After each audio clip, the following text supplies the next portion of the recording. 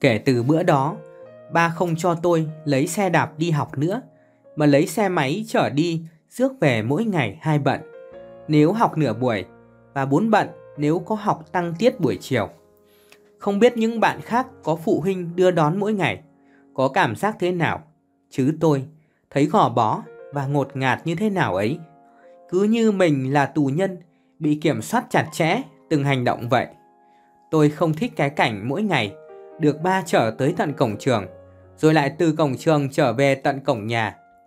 Thay vào đó, tôi chỉ thích được chạy xe đạp nhong nhong cùng tụi con Yến con Mai, vừa chạy vừa đùa, hay chạy bên cạnh anh Phong, vừa chạy vừa tâm sự đủ thứ chuyện trên trời dưới đất, rồi hồn nhiên cười đùa mà không phải dè chừng hay lo sợ bất cứ điều gì cả. Ngồi trên xe ba chở, tôi có cảm giác giống như ngồi trên lưng cọp, không biết nguy hiểm sẽ đến thăm mình lúc nào. Nếu chẳng may ba không trở tới trường mà trở thẳng vào rừng cao su như lần trước thì chắc tôi chết mất thôi. Càng ngày thì ông càng nghĩ ra nhiều trò quái quỷ để hành hạ và giày xéo thân xác non nớt này. Mà chỉ mới nhớ đến đây thôi là thấy lạnh sống lưng rồi. Thật không thể ngờ, càng ngày thì ông ấy càng đổ đốn và biến thái đến như vậy. Bữa đầu tiên mà ba chở tôi đi học thì tụi con Yến con Mai đã biết chắc rằng có chuyện gì chẳng lành rồi. Nhìn nét mặt của con Yến, tôi biết nó đã nhận ra điều gì đó bất thường trong cách cư xử của ba tôi.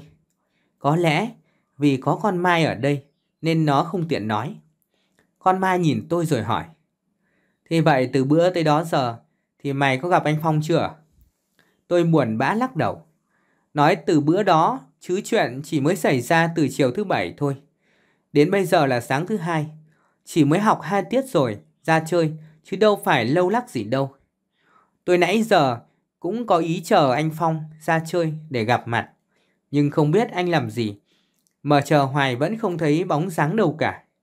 Không lẽ anh buồn và giận vì bị ba tôi la mắng giữa đường chiều hôm ấy.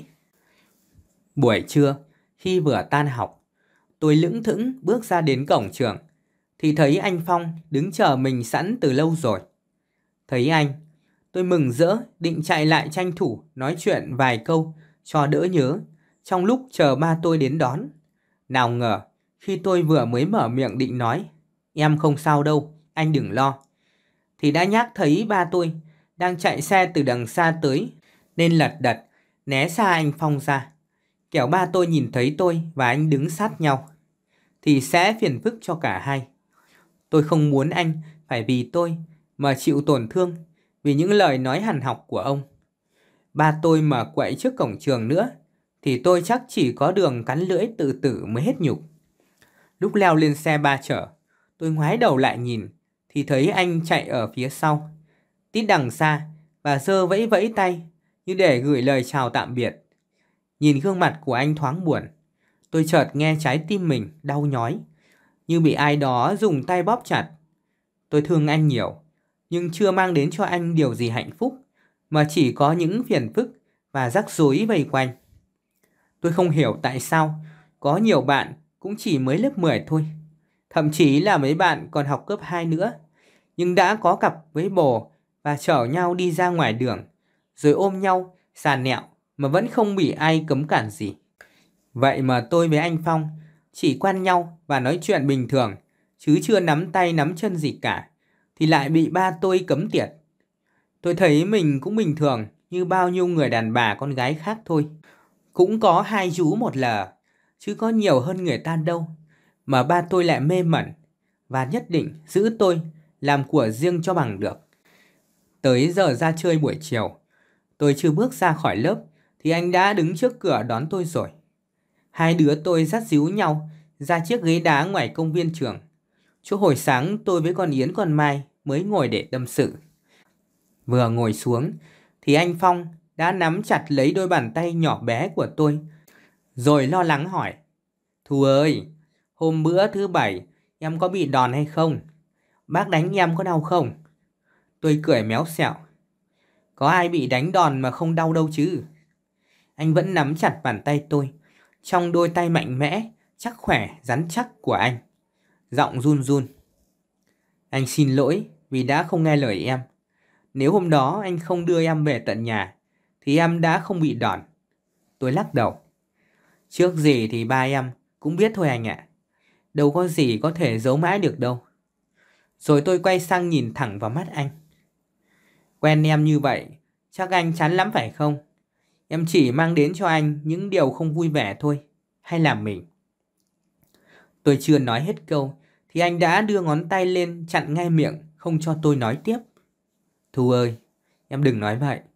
Ở bên em, anh thấy vui và hạnh phúc lắm. Anh thương em thật lòng và muốn được chia sẻ với em tất cả mọi vui buồn trong cuộc sống.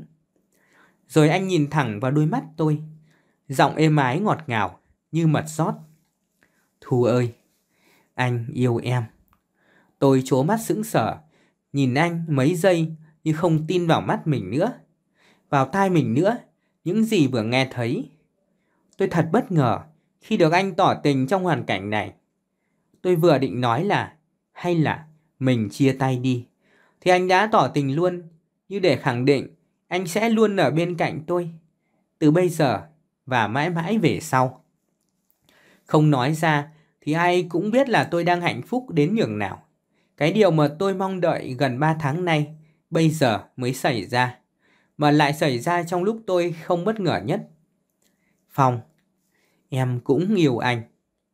Tôi nắm chặt đôi bàn tay của anh rồi thỏ thẻ những lời yêu thương tỉnh tứ mà tôi đã ủ từng ngày biết nhớ biết thương rồi. Bây giờ mới có cơ hội được thổ lộ. Anh đưa tay vuốt vuốt mái tóc tôi rồi kéo đầu tôi ngã vào vai anh. Ở đây là trường học, chứ nếu ở chỗ riêng tư chỉ có hai đứa thì chắc chắn chúng tôi đã không ngồi yên như vậy rồi. Bây giờ, ngày nào bác cũng đưa em đi học như vậy hết hả? Vậy là mình hết được đi chung mỗi ngày rồi. Anh buồn quá Thu ơi. Em cũng không biết là ba đưa đi học được mấy ngày nữa đâu. Nhưng mà trước mắt em với anh chỉ có thể gặp nhau lúc ra chơi mà thôi. Ba giờ kiểm tra giờ giấc đi đứng của em gắt gao lắm. Thì anh có gì không phải mà ba em ghét anh như vậy? Không có gì đâu anh. Tại ba sợ em còn nhỏ mà có người yêu sớm quá rồi dễ hư hỏng ấy mà. Tôi đành mở miệng nói ra những lời ăn ủi người yêu mà tự thấy ngượng ngùng. Ba tôi ghét anh, đâu phải vì anh có khuyết điểm gì to lớn đâu. Khuyết điểm lớn nhất của anh là đã kéo tôi ra khỏi sự quản thúc của ba. Tôi nói ba sợ tôi còn nhỏ mà yêu sớm sẽ hư hỏng. Nhưng tôi không thể nói là em chưa yêu nhưng cũng đã hư hỏng mất rồi. Cho anh nghe được. Tôi lo sợ không biết một ngày nào đó anh phát hiện tôi không còn trong trắng nữa thì anh có còn yêu thương tôi như bây giờ hay không? Anh Phong nhìn tôi âu yếm. Vậy bây giờ mình làm sao liên lạc? Thời gian ra chơi ít quá, đâu đủ để nói chuyện. Hai mình liên lạc bằng thư nhé anh. Có gì thì nhờ tụi con Yến làm bồ đưa thư. Lỡ ba em phát hiện thư của tụi mình thì sao? Nghe anh nói tôi chỉ biết im lặng mà không nói thêm được lời nào. Bởi vì anh nói đúng quá. Hiện nay, ba quản lý tôi chặt chẽ như vậy. Thì lúc tôi đi học, dễ gì ở nhà ba không lục tung căn phòng của tôi lên. Nếu phát hiện ra mấy bức thư tình của anh gửi, thì chắc chắn xe cạo đầu bôi vôi rồi đốt hết sách vở, quần áo cho thỏa cơn ghen tức hàn học. Vậy bây giờ mình phải làm sao hả anh? Tôi lúc này đầu óc rối quá nên không nghĩ ra được kế sách gì hay ho để giải quyết những khó khăn mà ba đang tạo ra cho hai đứa. Tới nước này thì chỉ còn cách trông chờ vào bộ óc thông minh của anh Phong mà thôi. Hay là vậy? Anh mới nói đến chữ thì dừng lại hắng giọng rồi nói tiếp. Tạm thời thì bây giờ mình sẽ gặp nhau vào lúc ra chơi chứ đưa đón hay gặp gỡ ngoài đường. Lỡ ba em thấy thì em sẽ bị đòn đấy. Mà như vậy thì anh xót ruột lắm Thu ơi. Nghe anh nói mà tôi thấy càng thương yêu anh nhiều hơn nữa. Không ngờ, anh lại quan tâm và lo lắng cho tôi nhiều như vậy. Điều mà từ nhỏ đến lớn, ngoài mẹ tôi ra, thì chưa có ai khác biết nghĩ cho tôi cả. Tùng tùng tùng, chú bảo vệ đánh ba tiếng trống báo hiệu, giờ ra chơi đã hết. Trước khi về lớp, con Yến nhìn tôi và Đông Phong rồi nói thật nhanh. Hai người yên tâm, tụi này sẽ ủng hộ tình yêu của hai đứa hết mình. Có gì thì tụi này sẽ làm cầu nối giúp cho. Chỉ cần hai người thật lòng yêu thương nhau. Nói xong thì nó cầm tay tôi đặt vào tay anh Phong, như muốn trao gửi niềm tin cho anh, rồi nhanh chóng cùng con Mai chạy lạch bạch về lớp. Tôi xúc động nhìn theo con bạn thân, lúc nào cũng tinh tế trong từng hành động, với ánh mắt biết ơn. Anh siết chặt đôi bàn tay tôi và thì thầm. Mình yêu nhau mãi mãi nhé em. Tôi nhìn anh Phong bằng đôi mắt hình trái tim, rồi gật gật nhẹ đầu, thay cho câu trả lời. Mãi một lúc sau, hai đứa mới buông tay nhau ra, trong tiếc nuối, để quay về lớp học, chuẩn bị cho tiết kế tiếp. Quen nhau lâu rồi, tôi mới biết là anh nhà rất giàu. Mẹ anh làm bác sĩ, còn ba anh làm nghề bán buôn xe máy. Nhà chỉ có mình anh là con một, nên ba mẹ anh rất cưng chiều con, nhưng không vì thế mà anh ỉ lại rồi xa vào ăn chơi đổ đốn. Trái lại, anh còn là người rất hiểu, hiếu thảo và lễ phép với mọi người, nhất là những người lớn tuổi. Còn về học lực của anh thì khỏi phải nói rồi, cứ gọi là đỉnh của đỉnh. Thành tích sơ sơ chỉ là 12 năm liền là học sinh giỏi toàn trường, cùng hàng đống bằng khen, giấy khen nhìn phát ham. Nhiều lúc tôi cũng không hiểu nổi tại sao một cậu ấm con nhà châm anh thế Việt như anh Phong lại chọn tôi mà không phải là một cô gái xinh đẹp và con nhà quyền quý khác. Có những lúc tôi chợt có những suy nghĩ tiêu cực trong lòng. Không biết anh thương mình thật lòng hay chỉ muốn quen qua đường thôi. Nếu một ngày anh phát hiện mình không còn trinh tiết thì anh sẽ cư xử như thế nào? Ba mẹ có chấp nhận một đứa con dâu hư hỏng như mình hay không? Hàng tá câu hỏi đưa ra mà không có câu trả lời, làm tôi thấy dối trí, muốn khóc luôn. Thế nhưng thì anh Phong chưa bao giờ làm tôi thất vọng về sự lựa chọn của mình. Anh luôn nhẹ nhàng, quan tâm lo lắng tôi mà không hề có một biểu hiện gì là muốn quen qua đường. Dù xung quanh anh lúc nào cũng có hàng tá bóng hồng xinh đẹp và nổi bật hơn tôi rất nhiều vây quanh. Lúc hai đứa còn đi học, cặp kè chấm muối mẻ với nhau, thì Đông Phong đi chiếc xe đạp sườn núi nhìn rất thể thao. Nhưng kể từ khi hai đứa chính xác công khai tình cảm, thì anh ấy thay thế chiếc xe đạp bằng chiếc xe máy đờ rem màu nho, mới cóng để đi học, khiến ai cũng phải trầm trồ và ao ước. Anh nói, không phải anh đi xe xịn đến trường là để khoe mẽ vì mình, anh không thích thể hiện mình là con nhà giàu có. Nhưng bây giờ, hai đứa quen nhau mà không có nhiều thời gian để đi chơi riêng. Vì vậy mà anh đi xe máy để đến lúc có cơ hội đi chơi riêng thì hai đứa sẽ đứa vọt liền đi, chứ xe đạp chạy lòng vòng ở nhà thì thế nào cũng bị ba tôi bắt được. Như thế thì càng thêm phiền toái. Đúng là ông trời không phụ lòng những người thật sự yêu thương nhau. Sau bao ngày chờ đợi, cuối cùng thì cơ hội được đi chơi riêng với nhau cũng đã đến sau khi nhà trường đổi thời khóa biểu. Theo lịch học mới nhất mà nhà trường vừa thay đổi thì ngày thứ tư buổi sáng, thật trùng hợp là lớp tôi và lớp anh đều là về ba tiết. Nghĩa là hai đứa có 45 phút để đi chơi trước khi ba tôi đến trường đón tôi về, lúc hết năm tiết như thường lệ. Bởi tôi đâu ngu, gì mà nói cho ba biết hôm đó tôi về sớm để vượt mất cơ hội được gần gũi người yêu. Rồi thì cái ngày mà cả hai mong chờ cũng đã đến. Rồi hai đứa tôi nhanh chóng di chuyển đến quán cà phê, cái quán mà hôm bữa chúng tôi đã trú mưa lần đầu nhìn nhau. Hai đứa tôi ngồi chung trên chiếc ghế đôi chứ không ai nằm võng. Với lại, tôi mặc áo dài mà nằm võng thì hơi kỳ. Đông Phong cầm tay tôi rồi kéo tôi ngã vào vai anh, miệng thủ thỉ. Thu ơi, em có yêu anh không?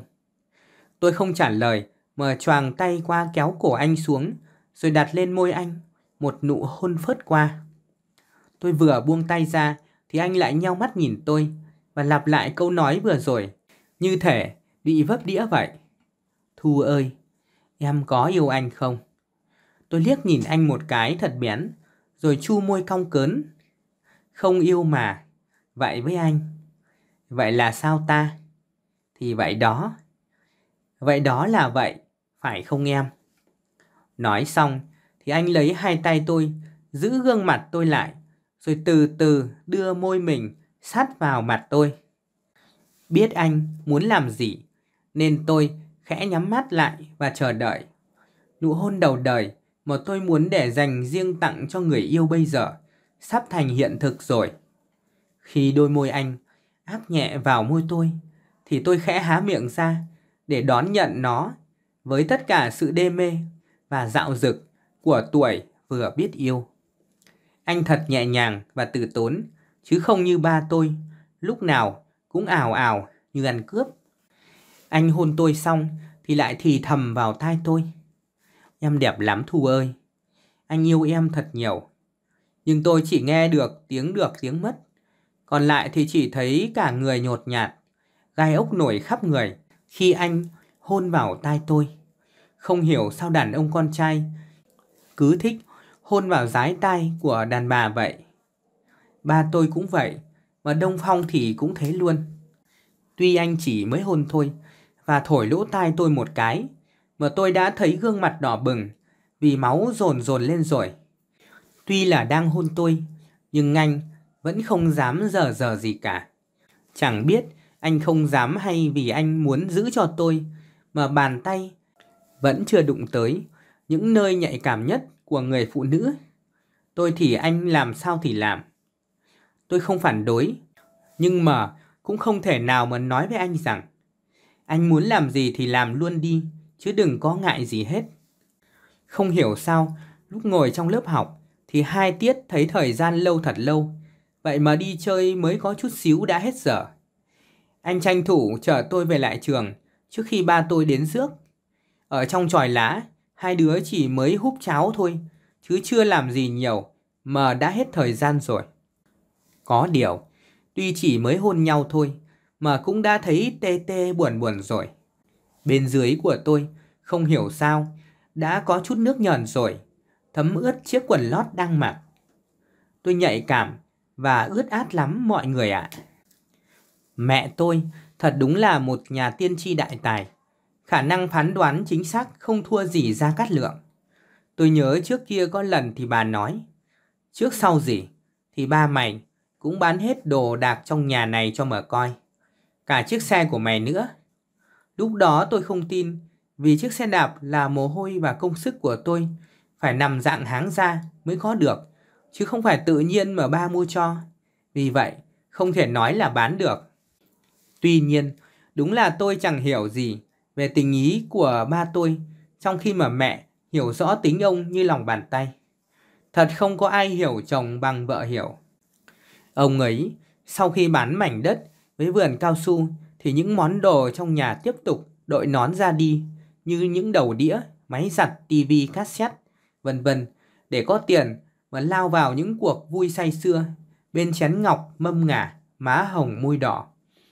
Tôi nghe phong phanh là ba tôi có mèo nên mới mau cạn túi chứ ăn nhậu thì biết khi nào mới hết khoản tiền trúng số.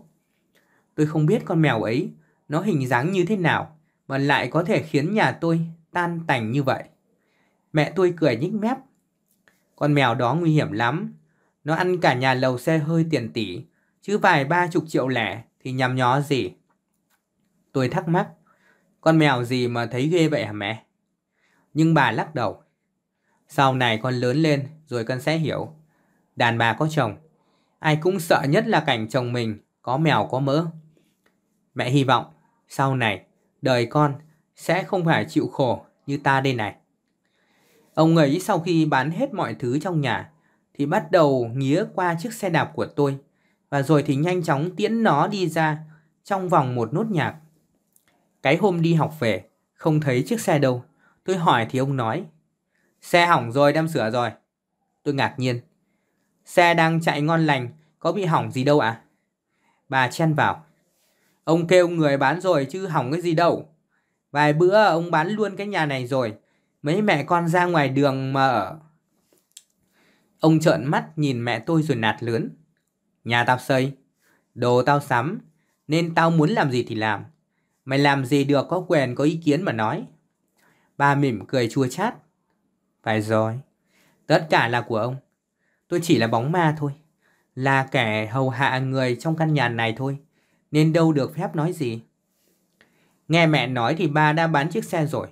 Tôi liền nhảy dựng lên rồi khóc bù bu bù loa. Con không biết đâu, xe của con đi học, ba không được bán, ba mua lại cho con đi. Ba tôi nạt lớn. Im đi, bây giờ đi học, tao đưa đón bằng xe máy thì cần đếch gì xe đạp nữa. Với lại thì giờ bán đi cho đỡ chặt nhà. Mai mốt lại trúng số, tao sẽ mua luôn cho xe Honda cho mày đi, chứ đi xe đạp làm gì. Nghe ông nói mà tôi không biết nên khóc hay nên cười. Cái nhà trống trơn không còn thứ gì đáng giá, mà ba nói bán xe đi cho nhà đỡ chật, thật là nực cười. Còn cái chuyện trúng số độc đắc, làm như dễ lắm ấy. Ba tôi may mắn lắm mới trúng được một lần. Vậy mà bây giờ vẫn còn nuôi hy vọng tiếp tục trúng số nữa để có tiền mà thỏa sức ăn chơi.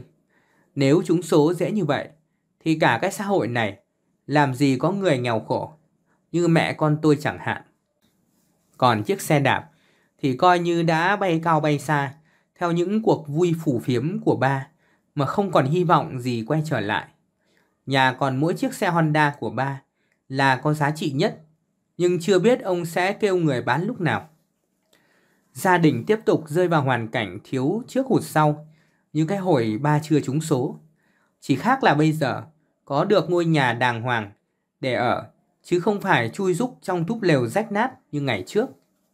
Mẹ tôi thì thấy chỗ phụ bán cơm tấm lương bổng không đủ chi tiêu, nên ngoài thời gian phụ bán quán ra, thì ai thuê làm cái gì thì bà sẽ nhận làm cái đó để có thêm thu nhập và lo cho tôi với thằng Hoạch. Thời điểm này mà đợi ba tôi phát tiền chợ mỗi ngày như trước thì chắc chết đói mất thôi. Bà đi phụ quán nửa buổi sáng, buổi trưa thì về lo cơm nước cho mấy cha con, rồi coi buổi chiều có hai phụ gì thì đi tiếp. Không thì ở nhà giữ thằng Hoạch. Tôi thấy bà siêng năng, chịu khó mà không hiểu sao cuộc sống của mẹ cứ nghèo khổ mãi vậy. Đúng là không thuận vợ thuận chồng thì khó mà tát cạn biển đông được. Một người làm một người phá thì làm sao mà ngóc đầu lên nổi. Còn ở trường học, tôi với anh Phong chỉ đi chơi riêng được vài lần thì nhà trường lại đổi thời khóa biểu tiếp. Lần này thì không còn cơ hội đi chơi nữa vì không có ngày hai đứa được về sớm cùng một lúc. Bởi vậy, hai đứa chỉ có thể gặp gỡ vào giờ ra chơi và trao cho nhau những cái nắm tay, những ánh mắt tràn chứa yêu thương, chứ không thể hôn hít như trong quán cà phê tròi được. Hôm nay, trên đường trở về, lúc tôi tan học, ba đột nhiên quay ra phía sau và hỏi. Chiều nay, con có học không? Tôi ngập ngừng. Dạ. Ba gắt. Dạ cái gì mà dạ? Nói mau lên. Tôi lý nhí đáp. Dạ không ạ. À. Ba ừ một tiếng rồi nói. Lát nữa cơm nước xong xuôi, thì tắm rửa sạch sẽ thơm tho. Rồi lên phòng, ta bảo nghe con. Nghe ba nói thì tôi đã hiểu là ba muốn cái gì rồi. Cứ bữa nào mà tôi không có tiết buổi chiều, mà mẹ thì không có ở nhà, thì y như rằng là ba đều bắt tôi tắm rửa sạch sẽ rồi vào phòng ba ba bảo, mỗi lần vào thì phải cả tiếng đồng hồ mới xong, làm tôi ê ẩm hết cả người nhiều lúc chỉ muốn chạy thật nhanh, chứ thấy ba tôi làm ác quá. Tôi nghe mẹ nói, hình như là cái cô bồ nhí của ba thấy ba hết tiền rồi, nên bỏ ông để theo người đàn ông khác. Không biết có phải vì vậy mà ba tôi đâm ra hận đàn bà, rồi chút cơn giận vào cơ thể non nớt của tôi hay không? Thời gian gần đây, mỗi lần mà làm chuyện đó, thì ông thường sử dụng những chiêu trò độc địa để thỏa mãn, chứ không đơn giản chỉ có là truyền thống là xong thôi. Tôi nghe ông nói xong thì lóc đầu quây quẩy. Thôi, con không vào phòng đâu. Vào đó xong lần nào, cái đó con cũng đau lắm ạ. À. ba nạt, thế mày muốn vào phòng hay muốn tao chở mày vào vườn cao su ngay bây giờ hả? Con mới trả cái, nuôi cho lớn lắm vào. Rồi hở ra cái là cãi lem lẻm ra. Có muốn ăn mấy cây chổi lông gà không? Ba nói tới đó thì cũng vừa về tới nhà. Tôi im lặng bước xuống, mở cổng trông chạy xe vào, rồi khép cổng lại, rồi mới lặng lẽ đi vào phòng với tâm trạng buồn bã. Không biết đến bao giờ, tôi mới thoát được cái cảnh làm búp bê để thỏa mãn trông tiêu khiển. Tôi không dám kể cho mẹ nghe những gì mà ba đã làm và đang làm với tôi mỗi khi không có mẹ ở nhà vì tôi biết là bà sẽ không chịu nổi cú sốc khi biết được sự thật phũ phàng này. Ông hăm dọa nếu không chịu vào phòng thì sẽ chở tôi vào vườn cao su như lúc trước. Tôi thả ở nhà, chứ vào đó thì tôi sợ lắm. Ở nhà còn kín đáo. Có chuyện gì thì chỉ có hai cha con biết với nhau, chứ ra ngoài vườn cao su. Lỡ có ai nhìn thấy, rồi đồn dùm beng lên. Tới tai anh Phong thì chắc tôi không sống nổi mất. Nhiều lúc tôi cứ ao ước mình lớn thêm vài tuổi để lấy chồng. Vì chỉ có theo chồng thì mới thoát khỏi cái cảnh bị ba tôi làm hại mỗi khi ông hứng. Thế nhưng ước mơ rốt cuộc cũng chỉ là giấc mơ thôi. Hiện tại thì tôi cũng chỉ là con bé mới 16 tuổi và đang chập chững bước vào đời. Cái tuổi mà mẹ tôi hay nói là ăn chưa no, lo chưa tới mà chồng con cái gì. Có những buổi chiều tôi đi học không được. Mẹ cũng không thuê ai mướn gì nên ở nhà chơi với hai chị em tôi. Ba tôi thấy mẹ ở nhà thì xách xe đi chơi đến tận túi mịt mới về. Rồi lăn đùng ra ngủ, chẳng cần tắm rửa gì cả. Người ông thì toàn mùi rượu thôi. Tôi ngửi thôi, đã thấy muốn say rồi, thì ruồi mũi nào mà bám vào được hút máu. Mẹ tôi vừa đung đưa võng du thằng Hoạch ngủ, vừa nhìn tôi hỏi. Thu nè, cái thằng bạn con quen là con cái nhà ai? Làm nghề gì vậy? Nó tên gì? Học trường nào nữa? Bà hỏi vậy một giây một dọc như thể đang hỏi cung can phạn, làm tôi thấy rối cả não, không biết trả lời câu trước, câu sau thế nào. Dạ thì anh tên Phong đó ạ. Anh học lớp 12, trung trường với con. Bố mẹ anh ấy thì con không biết, nhưng mà nhà giàu lắm. Mẹ anh là bác sĩ, còn ba thì buôn bán xe máy. Anh học giỏi nhất trường đó ạ. Nghe tôi hào hứng kể về người yêu, mà bà chỉ ngồi im lặng, mà nét mặt buồn thiêu, trái ngược với vẻ tươi tắn như hoa mới nở của tôi. Cuối cùng thì bà cũng lên tiếng. Nhà người ta giàu có như vậy, thì mình làm sao xứng hả con? Nhà mình đã nghèo rồi, mà ba mày còn nát rượu nữa thì... Không để cho bà nói hết câu, tôi vội vã ngắt lời. Nhà người ta giàu, nhưng mà biết điều lắm ạ. Không có tư tưởng phân biệt giàu nghèo gì đâu. Với lại thì anh Phong là con một, nên anh muốn làm gì thì bố mẹ anh đều chiều hết thôi. Mà anh cũng thương con lắm mẹ ạ. Bà nhìn tôi rồi chép miệng thở dài. Ở đời, có những chuyện không phải đơn giản như mình nghĩ đâu con ạ. Tại chưa đụng cái chuyện nên chưa biết ai tốt ai xấu mà thôi. Tôi nhìn bà mà rồi phụng phịu. Con còn nhỏ mà. Con còn đi học. Chứ có phải sắp lấy chồng tới nơi đâu mà tính chuyện môn đăng hộ đối à? Bà lấy tay cốc vào đầu tôi một cái rõ đau rồi mắng yêu. Cha mày, vậy mà nhỏ à? Không khéo à, sắp trở thành đàn bà đến nơi rồi con ạ. À. Câu nói này bà nhắc tới nhắc lui cả chục lần rồi. Nhưng bà vẫn chưa phát hiện ra tôi đã trở thành đàn bà từ lâu lắm rồi. Bà đưa đón tôi đi học bằng xe máy, đâu được chừng hơn một tuần nữa thì cuối cùng, phải để tôi tự đi vì lý do đơn giản là đã bán luôn chiếc xe rồi.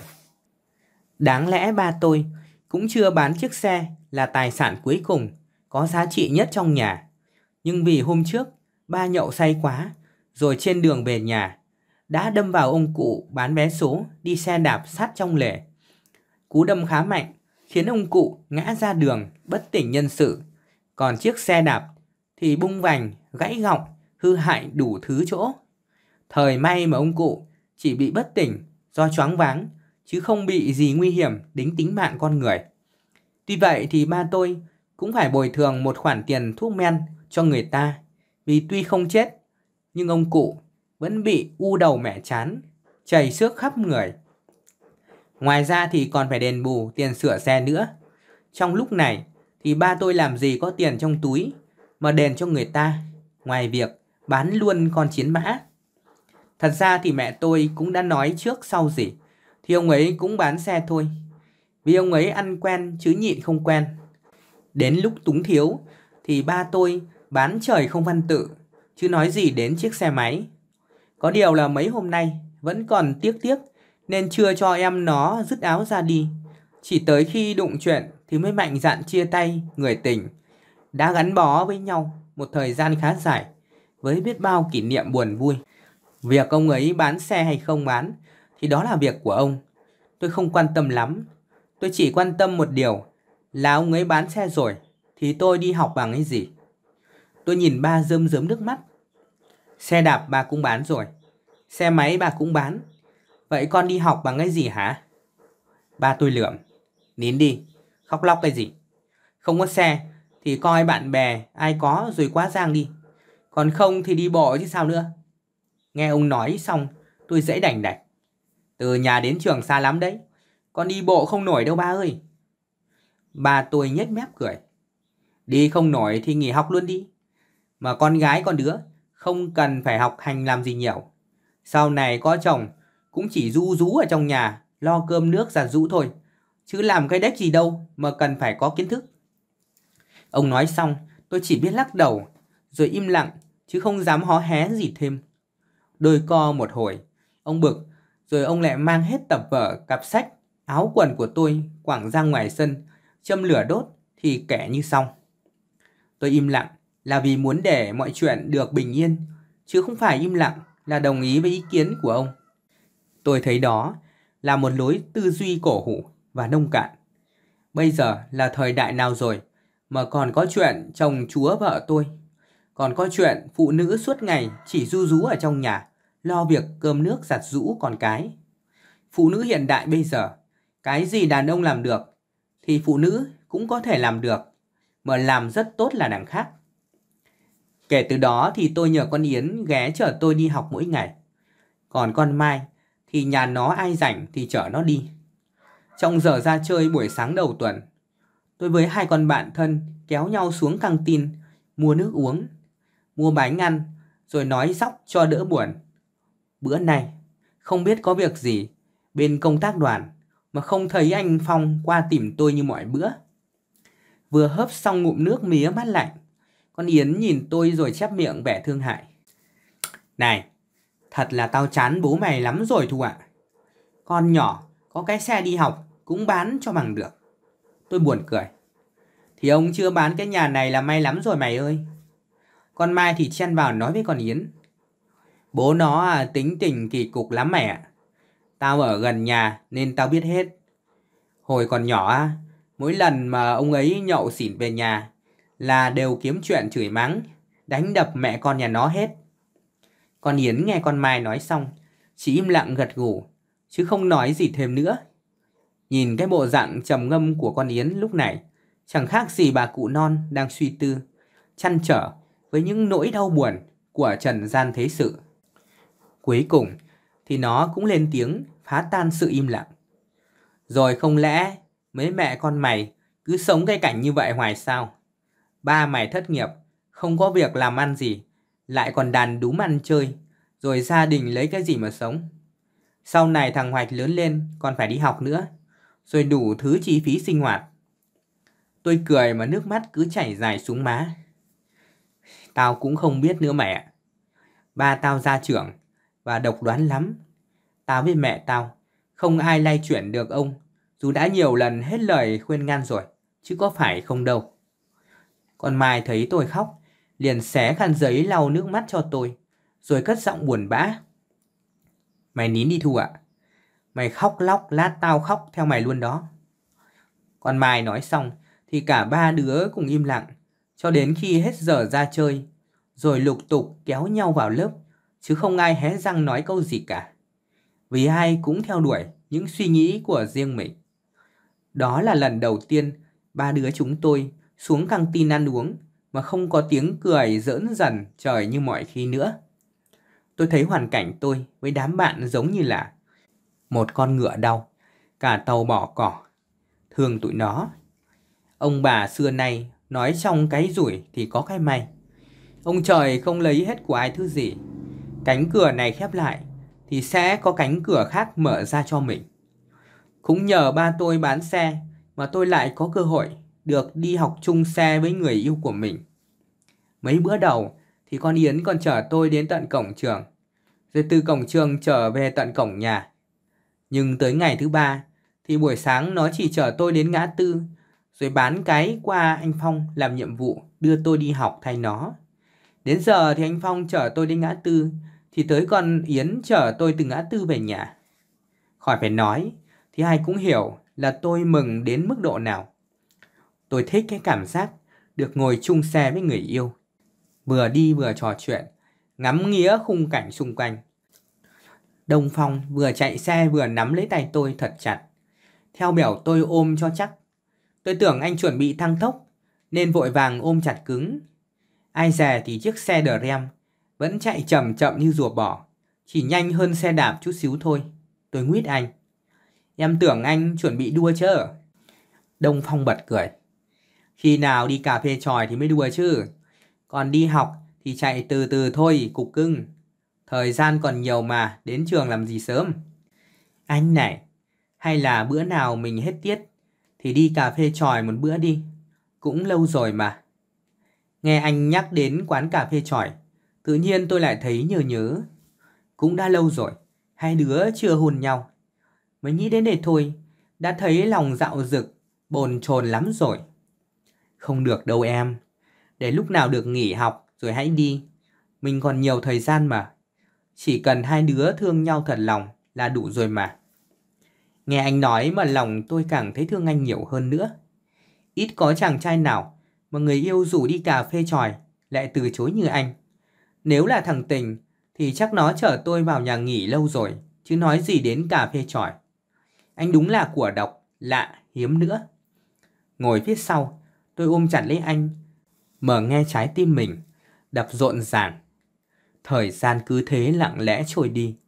Mỗi ngày hết con Yến rồi anh Phong thay nhau đưa rước tôi đi học. Mọi việc diễn ra êm đẹp và suôn sẻ, đâu chừng khoảng một tuần lễ thì xảy ra chuyện. Đúng là không có bí mật nào có thể che giấu kín mãi được. Cái kim trong bọc lâu ngày cũng lòi ra. Việc con Yến chở tôi đến ngã tư, rồi để tôi đi chung xe với anh Phong đến trường, cứ ngỡ là ba tôi sẽ không bị phát hiện. Nào ngờ thì sự việc lại đổ bể, chỉ vì lý do tôi học tăng tiết buổi chiều. Nếu chỉ học buổi sáng thôi, thì vấn đề thật đơn giản. Vì ngày nào thì cả ba đứa cũng phải đi. Nhưng mà học buổi chiều thì lại khác. Có hôm tôi học thì con Yến lại ở nhà, vì nó học khác lớp với tôi. Cho nên là tôi không thể bắt nó hôm nào buổi trưa. Cũng phải xuống nhà mình chở tôi đi học rồi hãy về ngủ. Xong buổi chiều lại chạy vào trường rước tôi về nhà. Tôi chỉ là bạn, chứ đâu phải là bà nội nó mà được hầu hạ tận tình như vậy. Chỉ nhờ có buổi sáng thôi mà tôi đã thấy ngại huống chi những lúc nó không có tiết học mà bắt nó phải đón sớm. Buổi trưa thì trời nắng mà đường thì lại khá xa. Nghĩ đến cái cảnh lội bộ từ nhà tới trường, tôi đã thấy ngán ngẩm rồi. Đông Phong thì thấy vậy, mới đề nghị để anh tới tận nhà đón tôi đi học buổi chiều. Những hôm mà con Hiến được nghỉ. Lúc đầu thì tôi cũng do dự, không biết có nên đồng ý với cách này hay không. Để anh đến tận nhà thì rất dễ bị ông ấy bắt gặp. Như vậy thì sẽ rắc rối lắm. Ông ấy chưa bao giờ muốn tôi đến trường hay học hành gì nhiều. Mà theo ý ông là vừa tốn tiền lại vừa chẳng nên cơm cháo gì hết. Tôi mà làm điều gì để ông ấy nổi giận. Thế thể nào thì ông cũng đốt hết sách vở, quần áo cho mà xem. Tuy nhiên, tôi để ý là thấy rằng buổi trưa, bà ít khi có ở nhà. Mà nếu có thì cũng ngủ trưa trong phòng, chứ ít khi ra ngoài. Bởi vậy mà tôi mới đánh liều đồng ý để Phong đến nhà mình đón đi học. Nhưng bảo anh đứng cách xa một đoạn chứ đừng đậu xe ngay trước cổng. Mọi chuyện đã được tôi tính toán kỹ lưỡng như thế mà không biết trời xui đất khiến thế nào, lại bị ba nhìn thấy. Thù, ai cho mày qua lại với thằng này? Vừa nói thì ba vừa chỉ tay thẳng vào mặt Đông Phong. Tao dạy mày thế nào, mà bây giờ mày còn cãi lời như vậy hả? Thấy ba nóng giận, chửi bới um sùm, nhưng mà Đông Phong vẫn lễ phép khoanh tay cúi chào ba. Dạ, con chào bác ạ. Ba gầm lên, mặt đỏ dần như con gà trọi. Không có bác cháu gì hết nhá, tao không quen biết mày. Nghe ông ấy nói năng thô thiển và phản ứng gay gắt với người yêu. Tự nhiên tôi thấy xấu hổ dùm ông. Dù sao thì ba tôi cũng là bậc cha chú mà xưng hô mày tao với con cháu là nghe không lọt lỗ tai chút xíu nào rồi. Mà đâu thì phải ba tôi chỉ xưng hô như vậy với người ngoài đâu. Con cái trong nhà thì ông ấy cũng xưng hô cái kiểu mày tao. Nhưng chỉ khác ở chỗ là không gay gắt mà thôi. Cả mẹ tôi cũng thế. Nhiều lần thì tôi góp ý cho mẹ sửa lại cách xưng hô. Như bà bảo là quen miệng rồi, không sửa được. Bởi vậy mà tôi cũng đành chịu, chứ không biết làm sao hơn. Bạn của ba thấy vậy liền can ngăn. Thôi mà anh, tụi nhỏ đi học chung, chứ có làm gì đâu mà anh la lối dữ vậy. Tôi vừa thấy ba là hồn vía đã bay tuốt lên mây rồi. Giờ bị ông hầm hừ tra hỏi nữa, thì chỉ biết lý nhí trả lời, mà mặt cắt không còn hột máu. Chứ con không có xe mà ba. Ba nạt. Không có xe thì đi bộ. Ai cho mày đi chung với thằng này? Đồng phòng lễ phép thưa.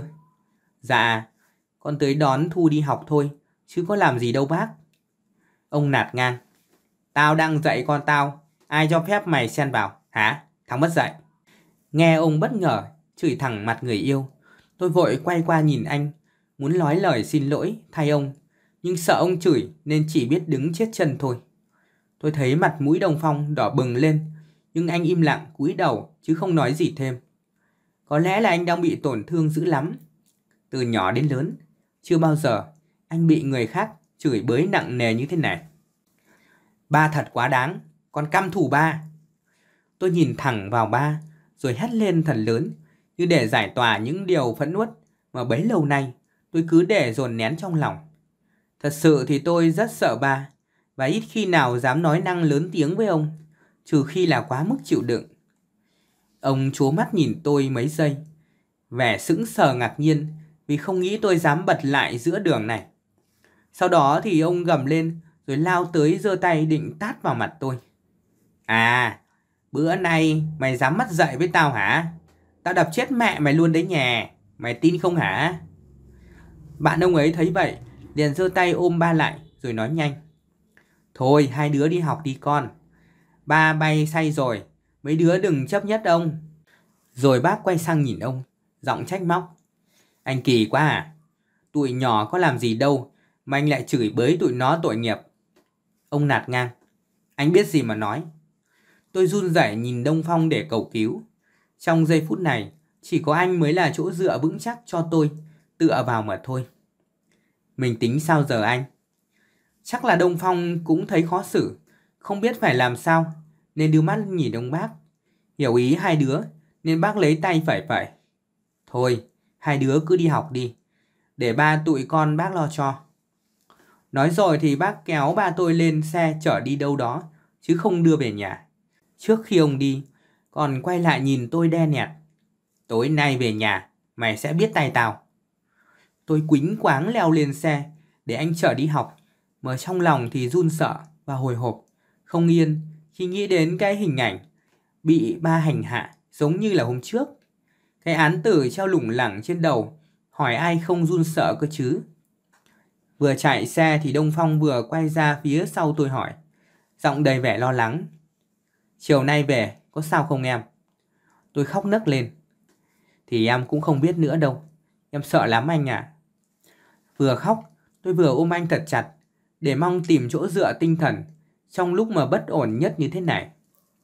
Hôm đó, tôi với anh không đến trường mà đi thẳng qua xã bên và ghé vào quán cà phê tròi quen thuộc, ngồi uống nước và ôm nhau đến tận chiều mới về. Điều tôi mong muốn lúc này không phải là thứ gì khác ngoài vòng tay âu yếm và tình yêu ngọt ngào của Phong dành cho mình. Ở bên cạnh anh, tôi thấy đời mình thật sự yên bình và không còn sóng gió nữa. Đây cũng là lần đầu tiên hai đứa trốn học kể từ khi quen biết rồi yêu nhau.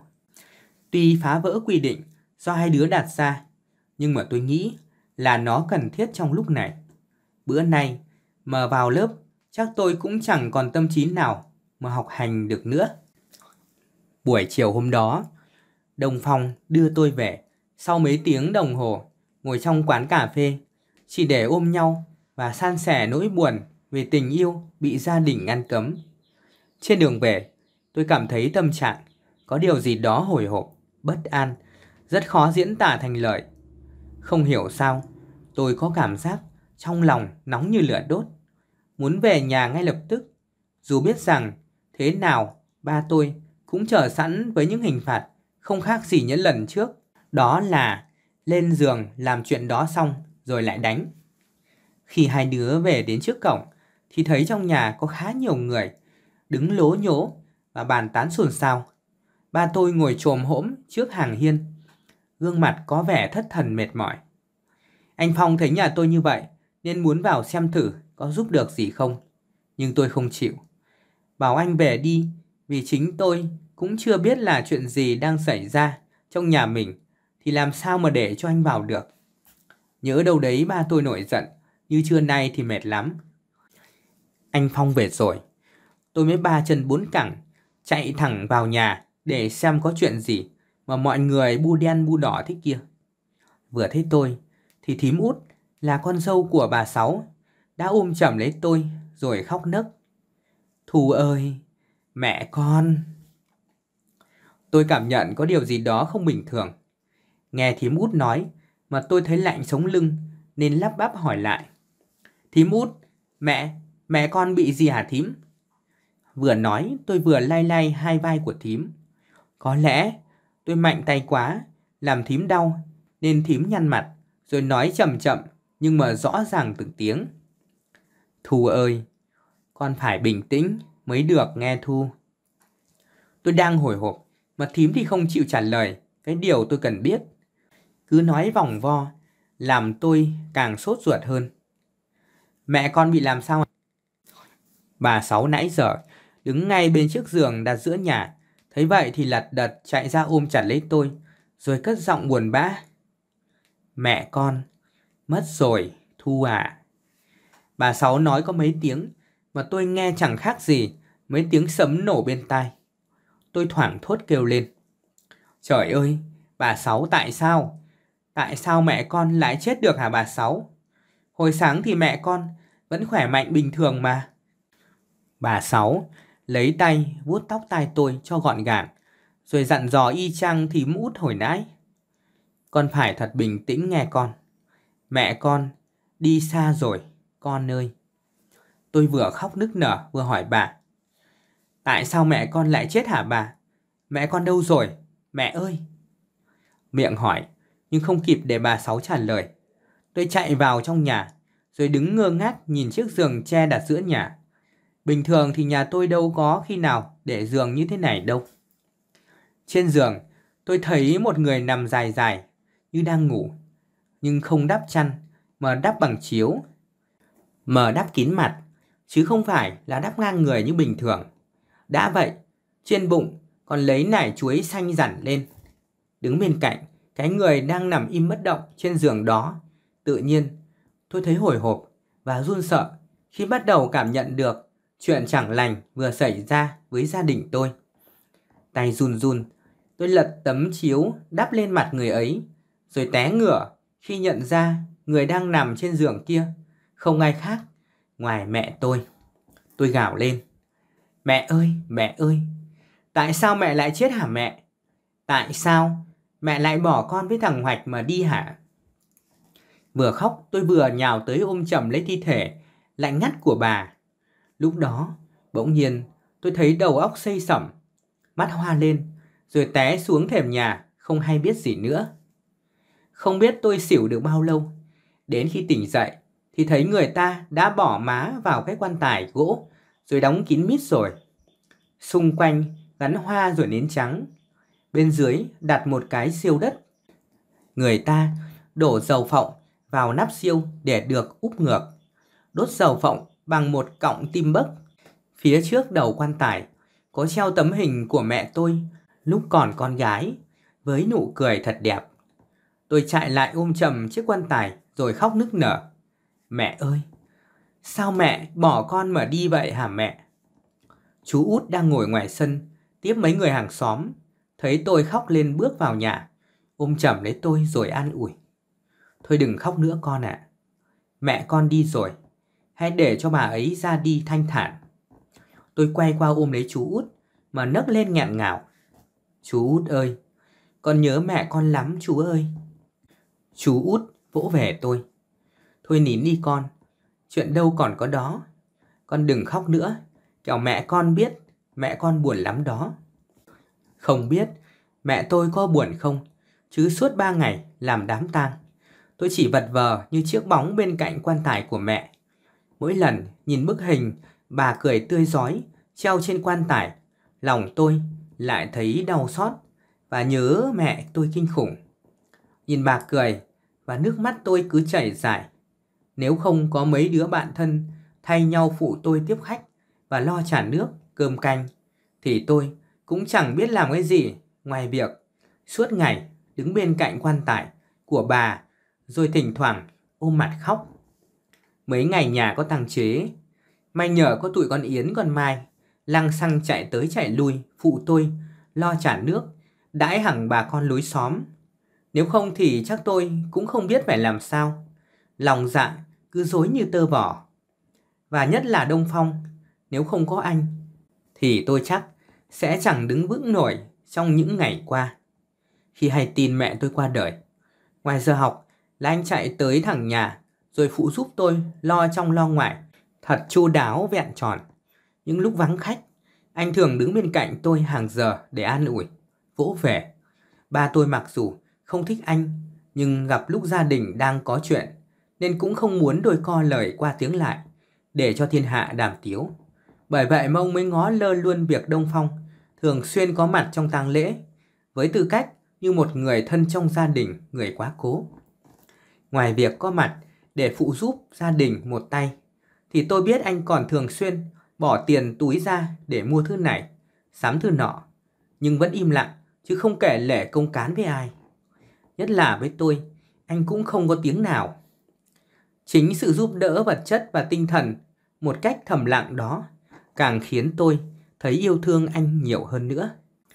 Sau ba ngày làm lễ thì người ta cũng đưa mẹ tôi về nơi an nghỉ cuối cùng. Ngày hạ huyệt, tôi khóc như mưa, vật vã như cái xác không hồn. Ba thì gương mặt, lạnh lùng, không cảm xúc, nên tôi cũng không thể đoán được ông vui hay buồn nữa.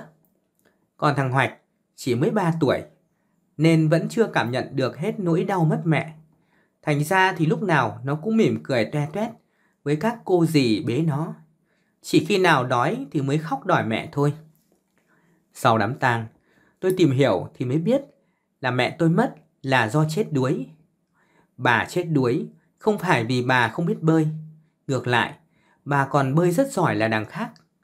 Từ khi đã quen với cảnh sống cùng ruộng đồng sông nước rồi, mà chết vì cứu người. Bữa đó thì bà đi hái ngó sen cho người ta, làm đám rỗ. Đi ngang con sông, chỗ lần trước tôi với tụi bạn thường ghé tắm, thì phát hiện có người đang chới với trong dòng nước. Y chang như tình cảnh của con Yến thủa nọ bà cũng bơi ra như cứu thằng tỉnh.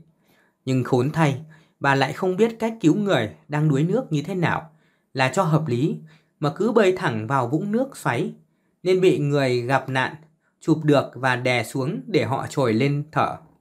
Sau nhiều lần má tôi và nạn nhân giằng co thì trồi lên lặn xuống thì cuối cùng cả hai đều lịm dần trong dòng nước lạnh lẽo vì đuối sức rồi đi luôn. Chẳng những thì mẹ tôi không cứu được người ta, mà còn gây nguy hiểm cho chính mình.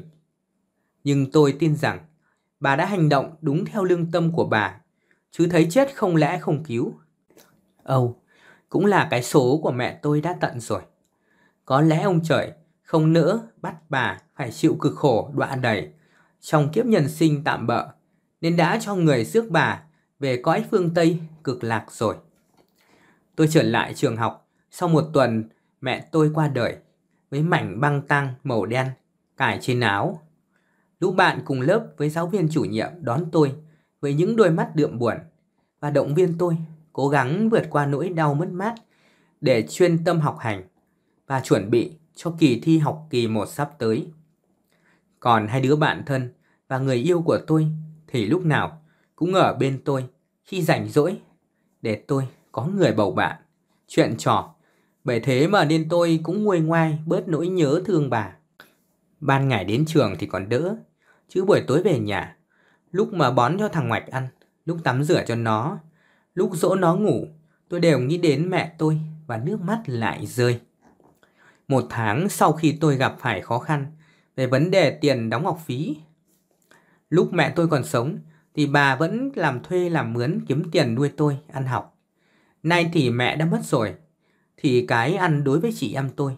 Còn chật vật thì đừng nói đến chuyện tiền nong đóng học phí làm gì. Tôi cũng chẳng hy vọng gì vào ba mình, rằng ông sẽ tu tâm dưỡng tính và lo cho hai chị em tôi. Xưa thì giờ người ta thường nói, Giang Sơn dễ đổi, bản tính khó lường.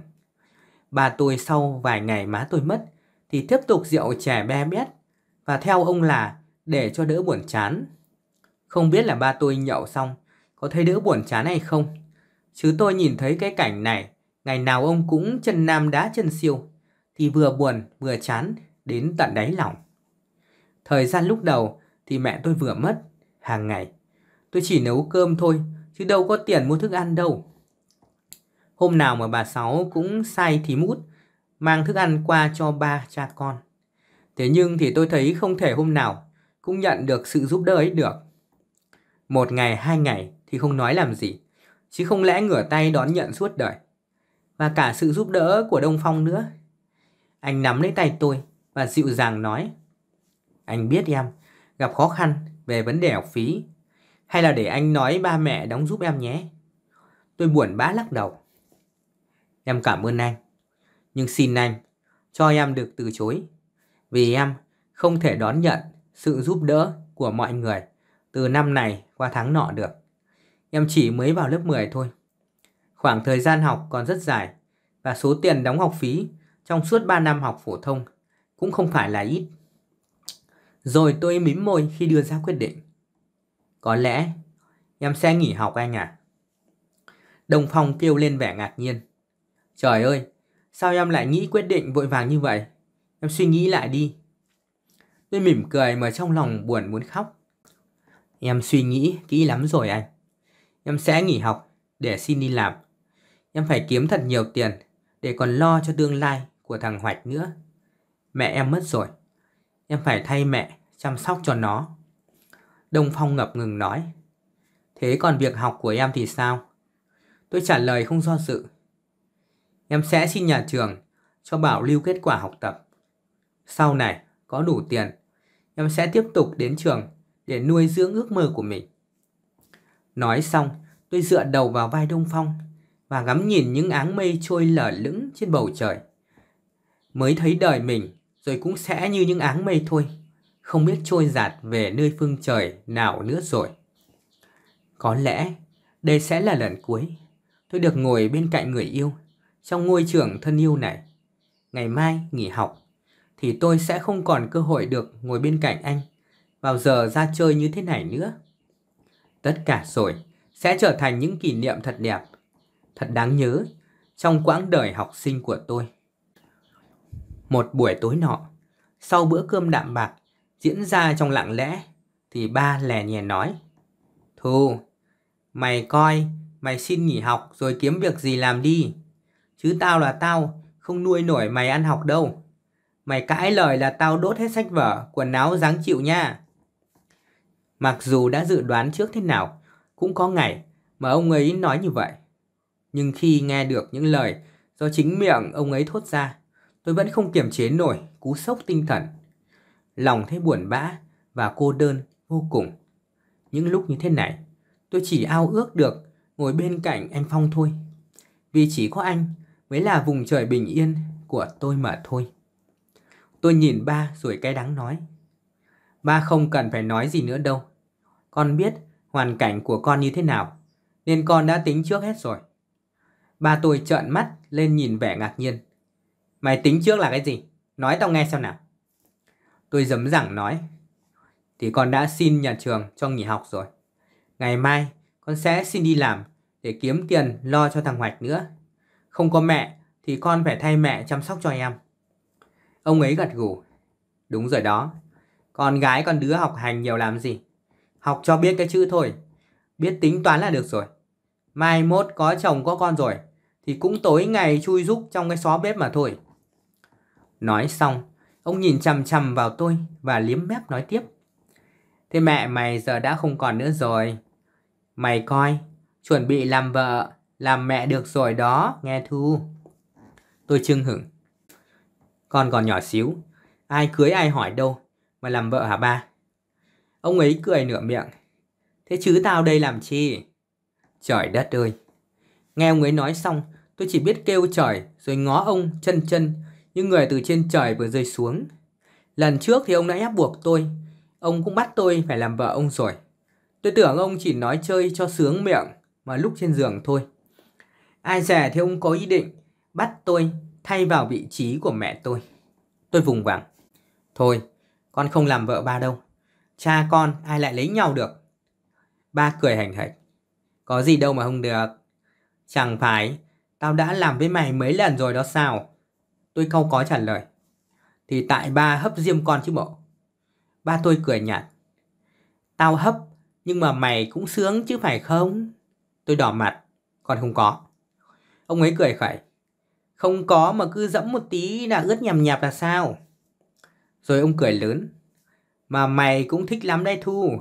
Lần nào à, cũng kêu lên muốn bẻ luôn nhà đấy. Tôi tức quá nên quát hơi lớn tiếng. còn không có.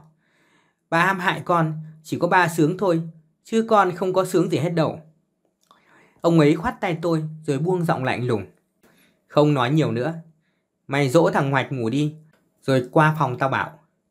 Nghe xong, tôi dẫy nảy lên. Thôi, con không qua phòng đó đâu, con không muốn. Ông ấy gằn giọng. Mày sống trong nhà này thì phải nghe lời tao. Tao bảo cái gì thì phải nghe và làm theo cái đó. Cãi lời tao là tao cho mày theo mẹ mày luôn đó nghe. Nói xong thì ông đi vòng một vòng, khóa hết cửa nẻo lại, rồi thản nhiên đi về phòng, nằm thẳng cẳng, chờ đợi tôi qua. Mà tôi thì bây giờ chẳng khác gì con chim bị nhốt trong lồng, nên khó mà thoát khỏi một trận mây mưa tơi tả. Sau khi dỗ thằng Hoạch ngủ xong, tôi mệt mỏi, đứng dậy, xỏ dép để qua ba bảo. Nói là qua bảo thôi, chứ đó qua là để làm nháy chứ có gì đâu. Mấy bữa nay, thằng Hoạch chắc là nhớ hơi của mẹ, nên tối nào nó cũng quấy khóc. Tôi dỗ mãi mà thằng nhỏ vẫn không chịu nín. Tới chừng khóc mệt rồi lan ra ngủ, chứ tôi nằm bên cạnh nó, cho lệ thôi, chứ chẳng dỗ dành gì được. Quả thật là không có gì cực nhọc cho bằng giữ trẻ con. Nghỉ học rồi thì tôi cả ngày phải ở nhà vật vã với thằng cu em từ sáng đến tối. Cũng mệt đừ chứ có phải sung sướng gì đâu. Tới giờ nó ngủ rồi thì tôi muốn lan ra ngủ cũng không được mà phải đi đóng thuế cho ba. Nghĩ đến đã thấy chán nản vô cùng. Nếu không có thằng Hoạch, chắc tôi đã bỏ nhà đi bụi đời, chứ không thèm ở trong căn nhà mà tôi thấy mình chẳng khác gì một món đồ chơi cho ba giải trí. Lúc mà mẹ còn sống, thì ông ấy thường có phần kiêng rẻ, chỉ làm bậy với tôi những lúc mà bà không có ở nhà. Còn hiện tại thì bà mất rồi, nên ông muốn làm gì tôi lúc nào cũng được. Tôi bây giờ chạy đằng trời cũng không hết nắng. Thật tình thì tôi không có hứng thú gì với những cái trò lố lăng của ba trên người tôi. Nhưng giờ ông ấy khóa hết cửa nẻo rồi, thì tôi biết chạy đi đâu được. Không qua thì chút xíu ông cũng mò qua chỗ tôi thôi. Ông mà làm vậy luôn trên giường thằng Hoạch ngủ. Lỡ nó mà thức dậy rồi quấy khóc thì ai mà dỗ cho nổi. Tôi tặc lưỡi. Trước sau gì thì cũng phải nộp mạng. Thôi thì cứ cắn răng nằm đó cho ông làm đại một cái rồi còn về phòng ngủ nữa. Mệt quá rồi. Lúc tôi đi qua phòng ông đang nằm trên giường và kéo gai chăn đắp ngang bụng. Thấy tôi thì ông lập tức cào nhào Làm gì mà lâu dữ vậy? Tôi trả lời mà mặt quạo đeo. Tại thằng Hoạch nó không chịu ngủ mà khóc hoài, chắc nó nhớ má. Ông nói ừ một tiếng rồi hất hàm bảo tôi. Đóng cửa lại đi. Tôi vừa đi xe ra khép cửa phòng, vừa nhìn ông với vẻ mặt không vui. Ông ấy nhìn tôi cứ làm như ông là vua còn tôi là tỷ nữ vậy. Nhìn cái kiểu ông nằm trên giường sai khiến là thấy bực cả mình rồi. Xích lại đây một chút. Ông vừa nói vừa co ngón tay trỏ, rồi ngoắc ngoắc, làm tôi tưởng ông đang kêu con Kiki chứ không phải là kêu tôi. Khi tôi vừa bước lại đứng sát bên giường, thì ông ấy đã bất ngờ hất cái chăn lên. Trước mắt tôi, ông không mảnh vải che đậy, và cái của nợ thì đã chĩa thẳng lên trời rồi. Đây không phải là lần đầu tiên tôi nhìn thấy nó, nhưng không còn cảm giác thấy ngạc nhiên về hình dạng của nó nữa. Và tôi chỉ ngạc nhiên là không hiểu tại sao mà chưa gì thì ông đã tếu lên thế kia rồi. Bà, mình không làm chuyện này được không? Tôi ấp úng, đề nghị dù biết rằng chẳng dễ gì mà ông ấy đồng ý. Miếng mồi thơm ngon béo bở trước mặt thì có con mãnh hổ nào lại chấp nhận bỏ qua đâu. Ông nhếch mép cười. Giờ này mà còn nói ba cái chuyện tầm phào nữa hả con? Vừa nói thì ông vừa thò tay chộp lấy tôi. Tôi lật đật lùi lại để tránh thì ông cười gằn. Thế mày tưởng có thể chạy thoát khỏi tay tao hay sao? Rồi ông hét lớn và đứng ngồi dậy, bước xuống đất, chống nạnh. Bỏ quần ra. Tôi nghe ông ấy thét thì hoảng hồn, nên lấm lép bỏ cái quần đang mặc xuống đầu gối. Nhưng ông đã quát tiếp. Bỏ luôn ra ngoài đi. Bỏ luôn cả cái quần slip nữa. Tôi líu díu làm theo lời ông, và trong lòng thấy nhục nhã ê chề. Không ngờ thì ông lại bệnh hoạn và biến thái quá trời quá đất như vậy. Bỏ hết áo sống ra luôn đi. Ông lại tiếp tục ra lệnh. Tôi lại lấm lét mở bỏ từng nút áo một. Trong tích tắc, tôi đã không còn gì che đậy cả. Rồi ông tấm tắc khen. Lờ con đẹp quá. Bà, tôi nghe ông ấy nói vậy, mà thật lòng thì ngại muốn chết. Thông thường thì ở đời, ai cũng thích được người khen mình đẹp. Nhưng khen gì thì khen, ai lại đi khen cái lờ con đẹp thiệt, thì thử hỏi ai lại không xấu hổ. Xong xuôi thì ông cũng bắt đầu dùng miệng với tôi luôn. Con hư thiệt đó Thu, ba mới tí tì thôi, chút xíu à, mà con đã ướt hết rồi nè. Bộ con hứng lắm rồi phải không? Thôi, ba đừng nói nữa. Ba làm gì thì làm nhanh lên, để con còn về phòng ngủ nữa. Nãy giờ bỏ thằng Hoạch bên đó có một mình. Thiệt tình thì tôi không thích cái kiểu làm liếc như thế này chút nào, mà chỉ muốn ông làm thật nhanh để tôi được tự do thôi. Mỗi lần gần ông, tôi thấy mình chẳng khác gì một con búp bê. Mà ông thích thì vặn bên này rồi bẻ bên kia cũng được. Con muốn ta làm nhanh sao? Tôi gật đầu. Thế con hứng lắm hả? Ta chỉ mới bắt đầu thôi mà. Tôi nổi cáu thật sự nên nói vừa khóc. Con không thèm. Con không muốn chút nào cả. Tại ba ép con thôi. Ông quát. Im đi. Khóc lóc cái gì? Tao chỉ làm cho mày sướng thôi. Chứ có giết gì mày đâu mà bù lu bù loa lên thế. Ông ấy mở miệng nói ra câu nói như vậy. Mà nghe được thì tôi cũng không biết còn đường nào mà đỡ nổi. Tôi là con gái của ông. Ông làm hại tôi đã làm một việc làm trái với đạo đức rồi và trái với pháp luật rồi mà ông vẫn còn tỉnh như không. Chẳng lẽ ông cho rằng việc quan hệ với tôi là điều rất bình thường, cũng giống như là quan hệ với mẹ tôi hay sao? Tôi không hiểu sao ông lại có suy nghĩ hành động như vậy với con gái ruột của mình. Một hành động bị cả xã hội lên án và rẻ biểu. Bà làm nhanh lên để con còn đi ngủ. Con buồn ngủ lắm rồi.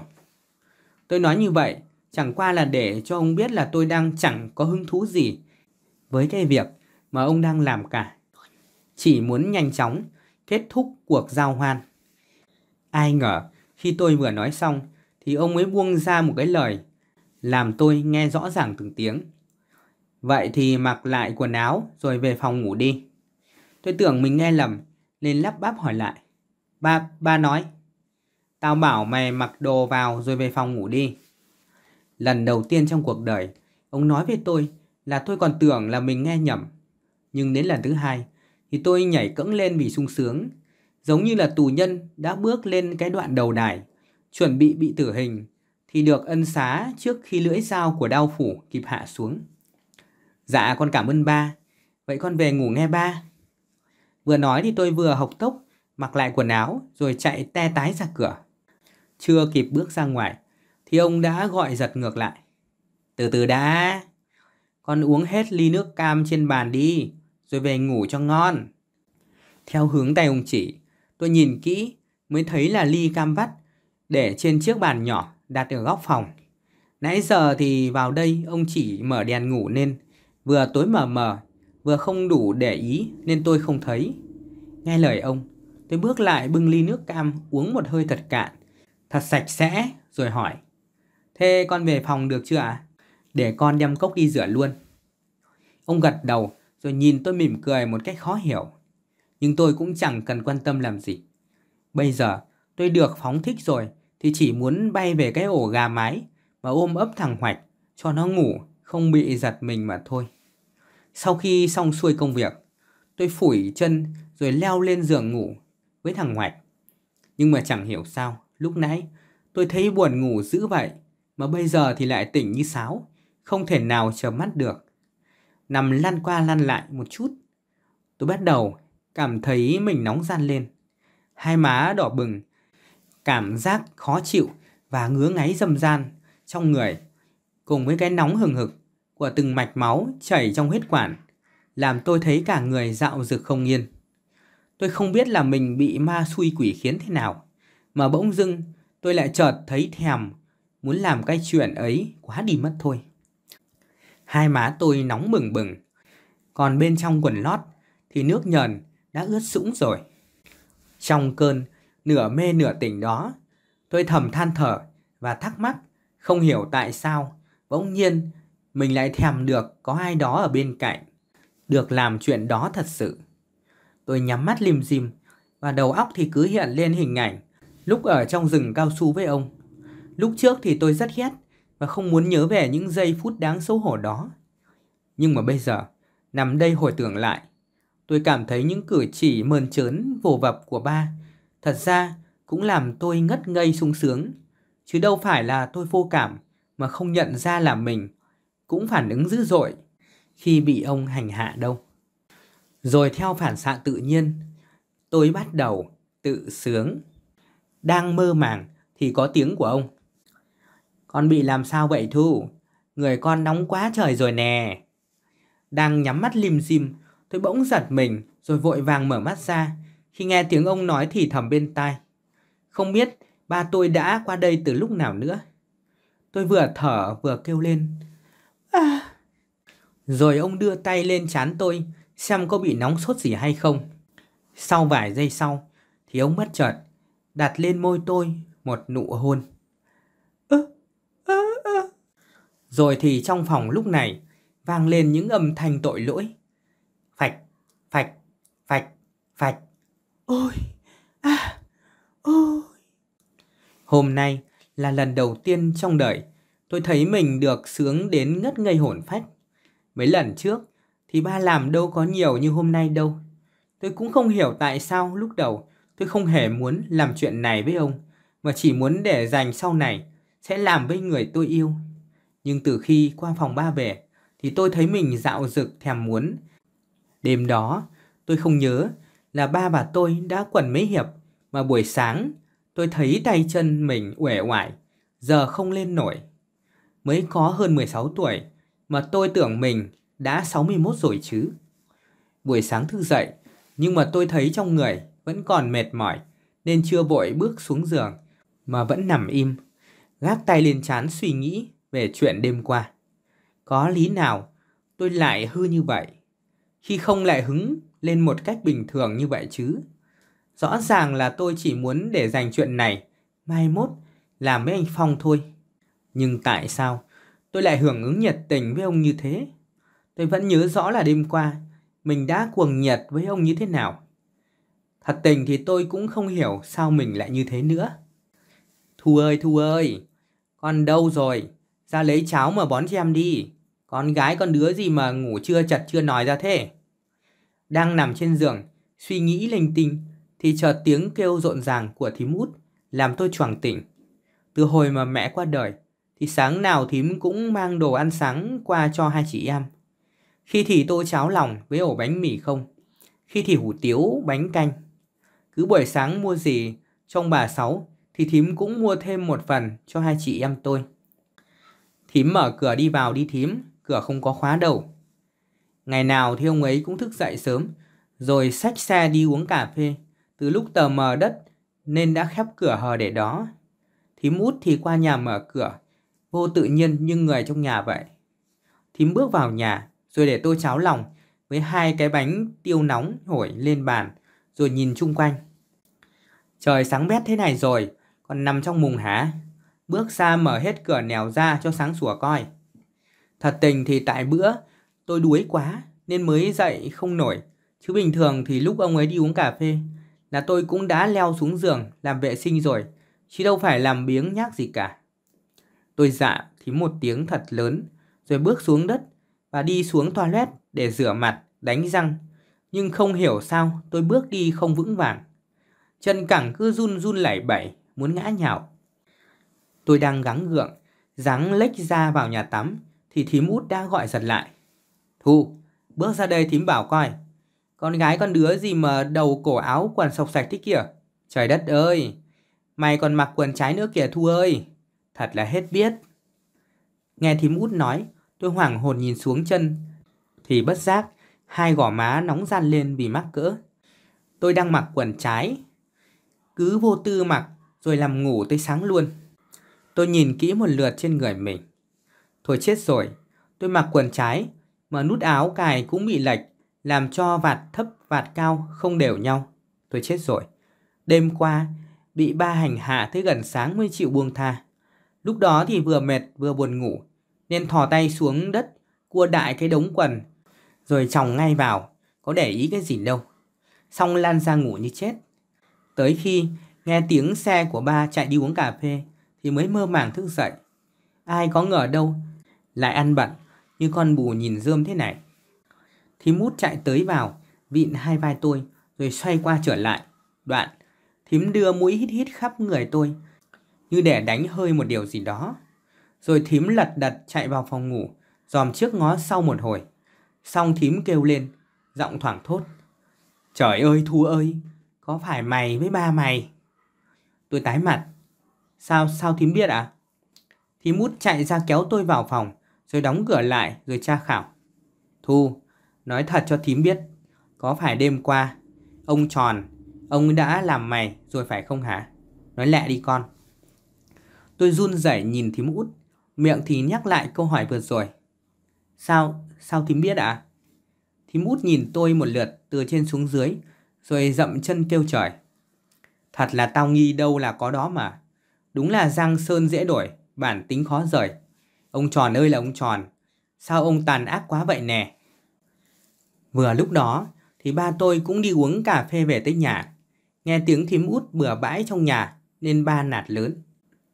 Làm cái gì mà mới sáng sớm đã um sùm thế hả? Thím út thấy ba tôi về, liền chạy ra, nắm lấy tay tôi, rồi la làng lên. Ông có còn là con người nữa không hả ông tròn ơi? Ông coi ông làm cái gì? Ông làm tội con nhỏ như vậy mà coi được hả? Ông mở mắt ra nhìn thứ coi, nó còn là con người nữa không? Trời đất ơi, đến con gái mình mà không chịu buông tha nữa hả trời? Nghe thím út nói xong, thì ông ấy mới lật đật, chạy ra đóng cửa lại, rồi cố cãi chảy cái cối. Thím nói chuyện gì mà tôi chẳng biết cái gì hết trơn vậy? Thím bĩu môi nói. Có phải anh không biết thật không anh ba? Ba tôi mặt biến sắc, nhưng vẫn cố gắng làm giọng tỉnh bơ. Thì có chuyện gì? Thím nói đại đi chứ. Cứ úp úp mở mở như thế thì ông nội nào biết được. Thím kéo tôi lại đứng gần, rồi ba mặt một lời. Anh nói, anh không biết thật anh ba. Vậy chứ thằng nào đêm qua, chơi con thu tới mức sáng nay, nó đi không nổi luôn kìa. Ông ta trả lời lấp liếm. Thì chắc nó bị đau chân gì đấy chứ. Có làm gì đâu, mà thím la lối ôm sùm dữ vậy thì mút cười khẩy. chặt chân à? Ừ đấy. chặt chân mà sáng con nhỏ đi tràng hàng đây. chặt chân mà sáng dậy mà quần trái đây. chặt chân mà lút áo thì cài ngược, cài xuôi cái trên cái dưới. chặt chân mà phòng ốc thì bừa bộn như bãi chiến trường thế này. Còn cái này mới quan trọng nè. Thím út nói tới đó thì im lặng. Làm tôi với ông đều trố mắt lên, vẻ ngạc nhiên. Rồi đồng thanh hỏi. Cái gì quan trọng hả thím? Thím út mới chỉ tay vào trong phòng, giọng chua chát. Chật chân mà con nhỏ, quên mặc quần lót luôn hả anh ba? Cái quần slip của con nhỏ nằm dưới đất kia kìa. Trên đó không phải là cái của nợ anh thì là của thằng nào chứ hả? Nghe thím nói xong, tôi mới giật mình đưa tay xuống kiểm tra. Thì ra tôi không mặc quần lót. Tôi nhìn thím út hỏi giọng ngỡ ngàng. Sao? Sao thím biết à? Thím út nhìn tôi rồi lắc đầu vẻ chán nản. Mày có một câu hỏi hoài, không có câu nào khác hả con? Rồi thím nói tiếp. Tao nhìn sơ qua bộ dạng là biết ngay, mày mới bị chơi tơi tả rồi. Bình thường thì ngủ dậy, không ai ăn mặc dị hợm như mày hết. Đã vậy thì quần áo, tóc tai, mặt mũi, toàn cái mùi của nợ đàn ông thôi. Ở trong phòng này, mùi tanh tanh nồng nồng, bốc lên nồng nặc rồi. Ba tôi là ông tròn, thẹn quá, hóa giận nên lạt lớn. Ai biết nó làm cái gì trong phòng của nó? Thím mút cũng không phải dạng vừa, lập tức gân cổ lên cãi lại. Anh nói anh không biết, mà nghe được hả anh? Nhà này buổi tối, có ai đàn ông ngoài anh hả? Hay anh muốn đổ thừa cho thằng Hoạch? Anh nói anh không biết. Được rồi, để tôi đưa con nhỏ lên xã trình báo để người ta điều tra. Như thế thì trắng đen sẽ rõ ràng thôi. Anh nên nhớ, đây không phải là lần đầu tiên nghe anh. Ngựa đúng là quen đường cũ rồi. Ông ta nghe tới thím nhắc tới chính quyền thì nét mặt sám ngoét, miệng ấp á ấp úng như trộm bị gia chủ bắt quả tang tại trận. Thôi mà thím, chuyện đâu còn có đó mà. Thím làm gì mà la lối dữ vậy? Để từ từ thôi tính. Thím mút chè môi kiểu khinh rẻ. Chắc anh tính để bữa nó bụng bầu rồi mới chịu phải không? Ông ấy bị thím mút khả khịa nên quê độ, miệng càm giảm. Nó là con tôi, tôi muốn làm gì thì làm. Không để cho ông nói hết câu thì mút đã hứ một tiếng thật lớn rồi nói. Phải rồi, nó là con ông. Nên ông muốn làm gì con nhỏ thì làm đúng không? Muốn đưa nó lên giường. Rồi ấy lúc nào thì ấy đúng không? Đoạn thím chừng mắt. Anh có tin tôi la làng lên cho cả xóm biết chuyện này không? Thật ra thì nãy giờ thím cũng nói năng rỗn ràng chứ đâu phải nhỏ. Có điều nhà tôi hơi kín nên ở trong nhà nói chuyện thì bên ngoài không nghe được thôi. Ông ấy nghe thím nói xong liền xuôi, chạy lại nắm tay thím năn nỉ. Thôi mà thím, chuyện đã lỡ dở rồi. Tại đêm qua tôi say quá, nên... Thím út mới cười nhếch mép.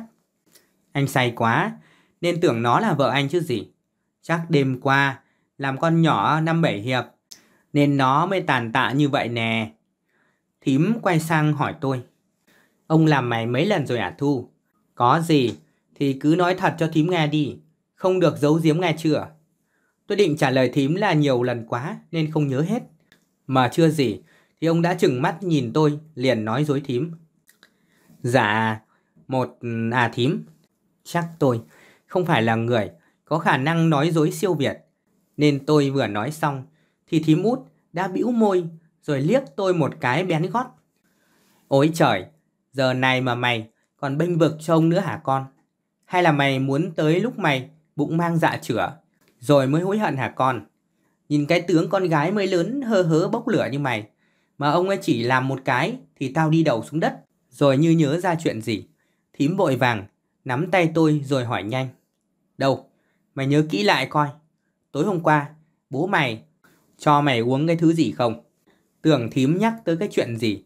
Chứ chuyện này thì dễ ợt như ăn kẹo vậy.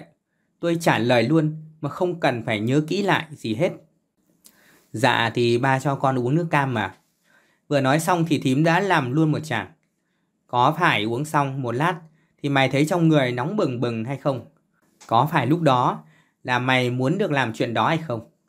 Có phải mày không thể nào kiềm chế nổi đúng không? Tôi chúa mắt nhìn thím ngạc nhiên. Không hiểu sao thím lại biết rõ cảm giác của tôi hồi tối qua đến vậy. Đúng là những gì thím nói đều là chính xác. Lúc đầu, tôi thấy trong người vẫn bình thường, thậm chí là còn mệt mỏi trong người. Nhưng mà không hiểu sao, lúc mà qua phòng ba uống ly nước cam này, về nhà thì... Thím hỏi tới đâu, tôi nhớ chỉ biết gật đầu, tới đó, thay cho câu trả lời. Tới khi hỏi đáp xong, thì thím mới quay qua ba tôi, cất giọng mỉa mai. Anh có một chiêu mà cứ xài đi xài lại hả anh ba? Cái thứ nước hôm qua anh cho con nhỏ uống Có giống cái thứ anh đã cho tôi uống chục năm về trước hay không hả anh ba? Ông ấy bị thím út hỏi vặn vẹo thì người đơ ra như khúc gỗ. Không biết trả lời thế nào nên đành cứ im như thóc. Tôi nghe nói thím hỏi ba nhưng mà không hiểu sao đầu cua tay nheo ra sao nên đưa mắt nhìn thím. Ủa, thím nói thứ nước đó là nước gì? Thím út cười khỏe. Nước kích chứ nước gì nữa mày. Tôi vừa hỏi thím xong thì ông đã vội đưa tay lên định ngăn không cho thím nói nhưng mà không kịp. Tới chừng thím trả lời rồi thì ba tôi mới nhìn thím nói kiểu hờn mát. Nó còn nít à, biết gì mà thím nói như vậy. Thím út gật gù. Ờ, phải rồi. Nó là trẻ con, không biết gì. Nên mới bị anh dụ dỗ cho uống thuốc kích để làm chuyện bậy bạ chứ. Cũng như tôi thôi. Ngày xưa, nếu mà bà không qua kịp, thì chắc tôi cũng bị anh hại đời rồi. Tôi nghe thím út nói với bà chuyện dù không hiểu được đầu cuối câu chuyện, nhưng mà cũng lờ mờ đoán ra ngày trước chắc là ông ấy cũng có ý với thím, giống như với tôi bây giờ. Hôm qua thì ba cho tôi uống nước, có pha thuốc kích. Hèn chi mà khi không mà tôi lại hứng tỉnh một cách đột ngột như thế. Rồi ông nhìn thím út giọng yếu xỉu. Thì chuyện qua lâu rồi mà thím cứ nhắc hoài. Thím út khinh khỉnh đáp. May mà nhắc hoài, mà anh còn chưa bỏ được cái tật dê sộp nữa kìa. Rồi thím quay qua nhìn tôi rồi lắc đầu. Thôi mày đi tắm rửa sạch sẽ đi. Rồi từ nay, hai chị em nhà mày qua nhà thím ở chung với ông bà nội. Ở cái nhà này, rất có ngày mày bụng mang dạ chửa à con. Tôi nhìn thím ngạc nhiên hỏi. Ủa, thím nói ông bà nội là vậy? Ông bà nội con chết hết rồi mà. Tôi mới hỏi xong thì thím đã khoác tay tôi rồi nói nhanh. Ông bà nội chết đâu mà chết. Họ vẫn đang sống sờ sờ kia kìa. Ông sáu bà sáu chính là ông bà nội của mày đó. Tại bố mày trợn quá nên ông bà nội từ mặt chứ ông bà có chết đâu mà chết. Tôi nghe thím út nói mà thấy lùng bùng lỗ tai. Không thể tin vào những gì mà mình vừa nghe được. Hóa ra là ông bà nội tôi vẫn còn sống. Hóa ra là chú thím út, không phải là hàng xóm láng giềng bình thường, mà là chú thím ruột của tôi. Hóa ra. Hèn chi mà ông bà Sáu thương yêu tôi và thằng Hoạch như con cháu trong nhà. Có gì ngon cũng mang cho.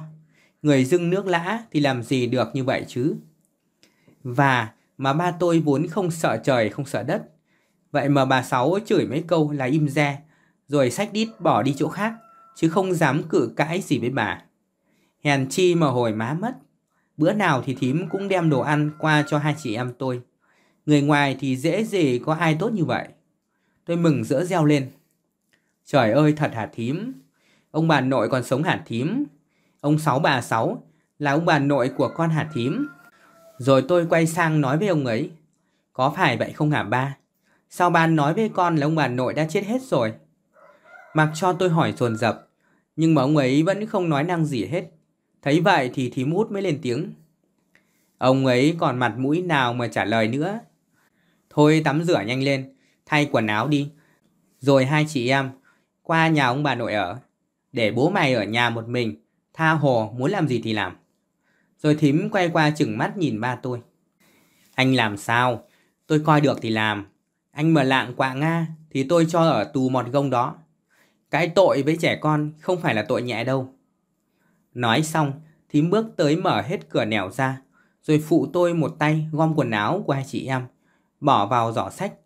Rồi ba thím cháu đùm túm đưa nhau về thăm ông bà nội, dù cách nhà chỉ cách nhau có vài cái hàng rào dâm bụt. Mà từ nhỏ tới giờ, tôi nào hay biết là mình vẫn còn những người thân ruột thịt trên đời, chứ không phải là chẳng còn ai như ba nói. Lúc ba thím cháu xách quần áo đồ đạc ra khỏi nhà, ông ấy chỉ ngồi im re và đưa mắt nhìn chứ không hó hé câu nào. Cũng không tỏ thái độ đồng ý hay phản đối, kiểu như ai muốn làm gì thì làm. Hay nói đúng hơn là ba tôi giờ đây chẳng khác gì tên tội phạm nên không có quyền hạn gì để lên tiếng nữa. Lúc thím út và tôi vừa bước vào sân thì bà Sáu đang ngồi trên sạp gỗ, tách mớ cau tươi để lấy hạt phơi kho ăn chậu. Thấy hai thím cháu đùm đùm, dè dè tay sách nách mang, quần áo lỉnh kỉnh, nên vội vàng bỏ con dao xuống rồi chạy ra đỡ phụ một tay. Chố mắt lên nhìn ngạc nhiên. Ủa, hai thím cháu, con Thu, sao sao rồi? Tôi vội buông hai túi đồ xuống đất, rồi chạy vào ôm chầm lấy bà Sáu, rồi kêu lên mừng rỡ. Nội ơi nội! Bà, mà không, từ nay phải gọi bằng bà nội mới đúng. Nghe tôi kêu nội ơi nội, thì càng ngạc nhiên hơn nữa. Giọng bà mới run run, vừa vui vừa mừng, bất ngờ, trước tình cảnh không lường trước được như thế này. Ủa sao? Sao nó biết vậy út? Thím út tươi cười. Con nói cho nó biết đấy. Từ nay, hai chị em nhà nó sẽ qua đây ở chung với mình. Bà nội tôi quay qua ôm chầm lấy tôi rồi sụt xịt. Thu ơi, cháu của bà, bà tưởng tới lúc bà chết rồi mà vẫn không được nghe tụi con kêu một tiếng nội ơi, luôn chớ. Rồi bà nội quay sang nhìn thím bà hỏi. Con út, mày nói làm sao mà thằng ba lại cho chị em con Thu qua đây ở? Bộ nó không phản đối hả con? Thím tôi khoác tay. Phản đối sao được hả ba? Hồi trước chị Hồng còn sống thì để cho nó ở với chị. Nay chị mất rồi thì mình đem về đây nuôi dạy. Chứ để bên đó thì ai lo cho tụi nhỏ? Ông tròn, cái thân ông còn lo chẳng xong nữa là lo được cho ai? Thím ngưng lại một chút rồi hạ giọng. Thì với lại thì bây giờ con nhỏ lớn rồi. Không thể để nó ở bên đó được. Lửa gần rơm có ngày cũng bén đấy. Bà nội nghe thím út nói vậy thì liền lắm lấy tay thím út chạy ra góc sân rồi thì thầm hỏi. Thế thằng ba nó làm gì con nhỏ rồi hả út? Thím không trả lời bà nội ngay mà ngay lại nhìn tôi một lúc để như suy nghĩ thật kỹ có nên nói hết chuyện cho bà nội biết hay không. Sau vài phút đắn đo thì cuối cùng thím khe khẽ gật đầu thay cho câu trả lời.